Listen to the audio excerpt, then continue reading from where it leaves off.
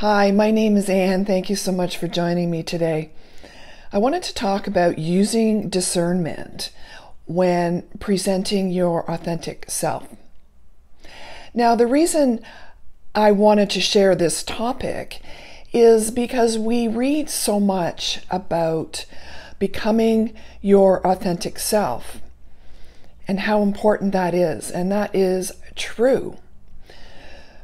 So, what the process is basically is we are programmed from childhood, from learnings from behavior of our parents, um, and from all different sources. We are we have learned programs that we are running, and some of that or most of that is actually not truly who we are.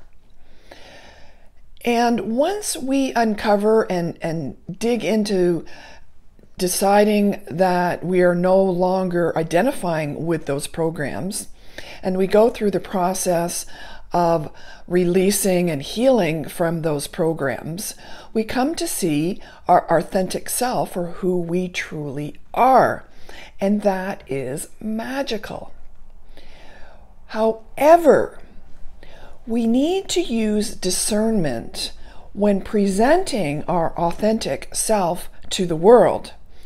Now, this is contrary to what most people will say, because you should always be your authentic self and not care what anyone says or thinks.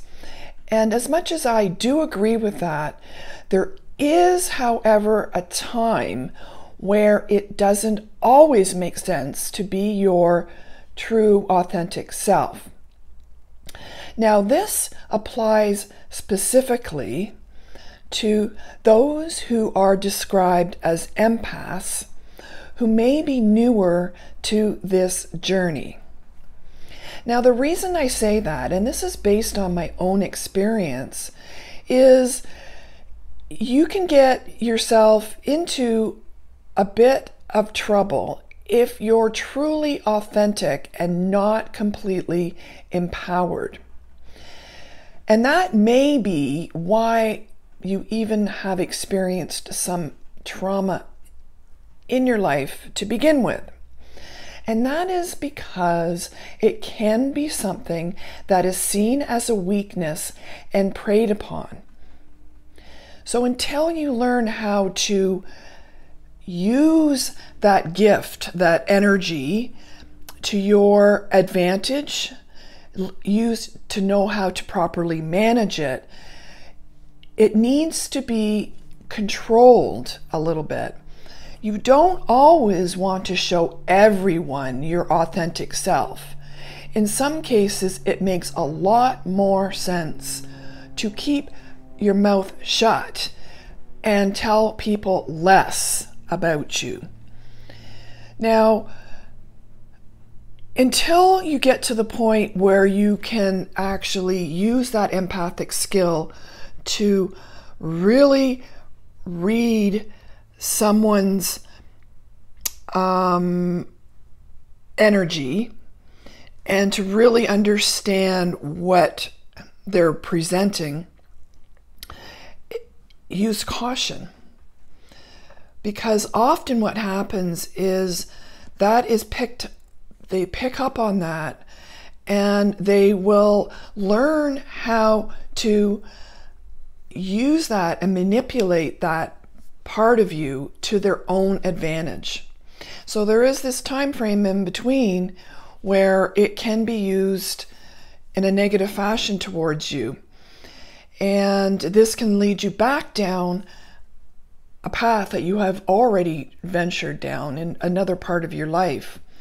So until you can really see that in someone, until you can really know when they are someone that you can truly open up to and trust, keep that true authenticity to yourself.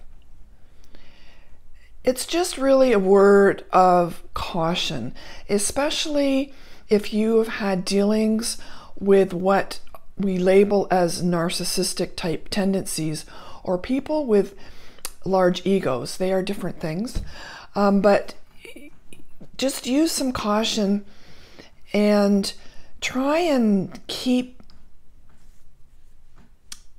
aware of what information you are sharing with other people and keep your guard up a little bit it's actually it's protecting your energy it's not really it, it, that's what the guard is in my opinion it's you're protecting your energy and you need to be way more cautious in who you allow into your energy field and even more cautious with what information you actually share about yourself.